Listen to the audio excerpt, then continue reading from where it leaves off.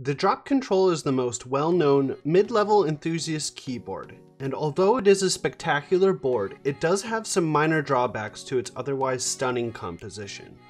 In this video, I will give an overview of the board, mod the keyboard with different key switches, try out some different keycap profiles, and then give you a sound test of each setup, before and after. This keyboard features hot swap sockets, dual USB-C input, RGB, QMK support, PBT shine through keycaps, and custom switches with a form of fiber optics they call light pipes. These RGB friendly switches are only available on drop.com. The built-in RGB has many built-in lighting modes, and the SMD LEDs are sunken below the PCB to increase switch compatibility. One feature that cheaper boards like the Royal Kludge RK68 often overlook. But one feature that the RK68 has that this PCB doesn't is 5-pin support. Furthermore, at the $200 price point, I can gripe that the lighting strip looks atrocious with poorly diffused light. The black finish is great, but attracts fingerprints. The board is well constructed and feels very sleek, but it doesn't come with a wrist rest. I also feel that at this price point, there should either be built-in macro support or support other than QMK that makes programming the keyboard a little easier. I don't want to lie, overall I am very impressed, but these facts beg to question. With boards that have more features, like the Everest Max with a detachable number pad and a media dock, and boards like the GMMK TKL that have many of the same features at less than half the price, why get this particular board? I have one answer. The one feature that the majority of competing boards don't have. The case is 100% solid aluminum, not just the top plate. This may not be the most important feature for most, and granted, if you prefer more features or a cheaper price, then get one of the other boards. But if you are looking for something that will last you a decade or more and look exactly the same as the day you bought it, look no further. A solid case will sound and feel different, solid and crisp, but this combination of solid case and the stiff switches attributed to the most annoying problem that I have ever had with a keyboard, switch ping. Because the other switches were sold out, this board originally shipped with 65 gram Halo clears which had an unbearable amount of spring ping and a high actuation force. Here is what they sounded like.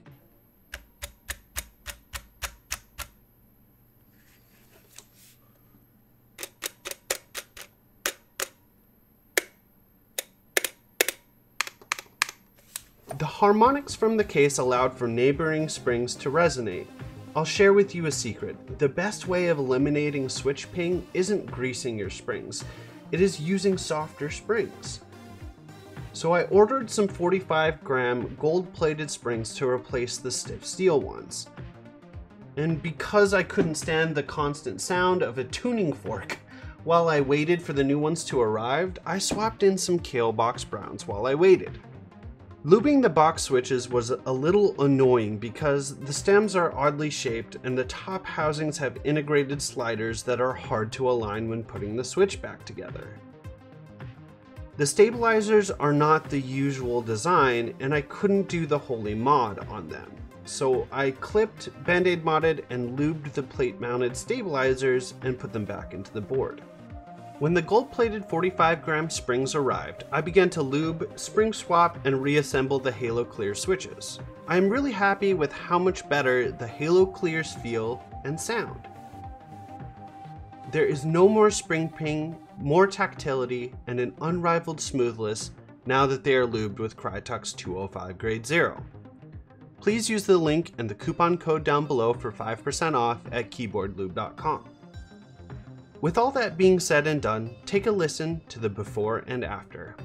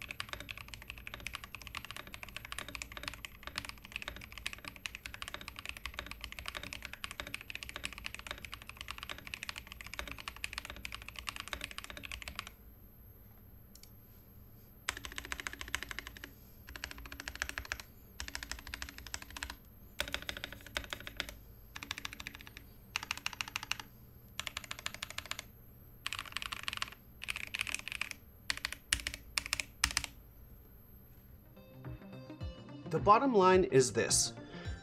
Do I suggest the drop control over the other keyboards? My answer is maybe. If you are looking for a solid keyboard that will stand the test of time, then I say without hesitation buy this board. Undoubtedly, with a couple mods, this keyboard went through a remarkable transformation to become one of my favorite keyboards. I will continue to use it on my primary computer where I can mitigate macro support and dedicated media controls with my Stream Deck. But when I need a solution that is all-in-one, I will use my Everest Max. Do I feel that this keyboard can be improved? Yes. Despite the small gripes that I have with this keyboard, the overall construction, feel, and sound of it in the long run is unparalleled, and I can overlook many of the missing features the other boards have when I have ways around them. I currently am not sponsored, and every video that I make is 100% paid by me. Drop.com is a great website that allows for referrals, and if you liked this video and would like to support the channel, please like, comment, and subscribe. And then also check out Drop.com using the link below. If you sign up for Drop and make a purchase, I will get discounts on my next purchase. Thanks guys. See you in the next one.